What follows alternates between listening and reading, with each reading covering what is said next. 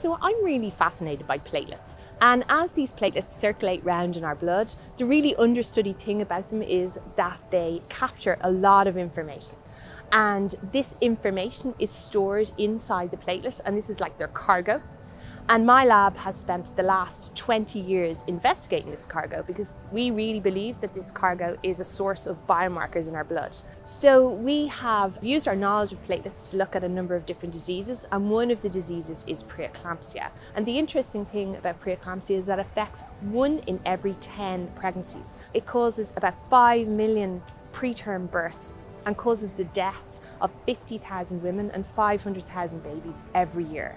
So we found these markers in platelets from women with preeclampsia and we've developed that now into a blood test and what we do is we use machine learning and artificial intelligence to combine that information about how much of those markers are in the blood with all the clinical information that's been collected on that woman during pregnancy and we combine that all together to give information to that clinician in real time. And also, we've built in biomarkers that can tell a clinician when to deliver the baby. And if you can leave that baby inside for another week, another couple of days, even another couple of hours, it's going to make a massive difference to that baby.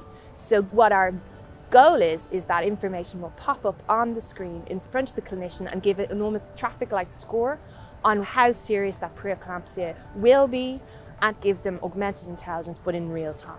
So right now we're trialling this in the three Dublin maternity hospitals and that's covering 50% of all the births in Ireland. So the dream of the team and you know, there's a lot of people involved in this project. We have a huge multidisciplinary team, but the goal of every single person on the team is to get this test into every hospital worldwide, every maternity hospital worldwide, and get this test to every woman who needs it because we firmly believe that it will save the lives of both mothers and babies.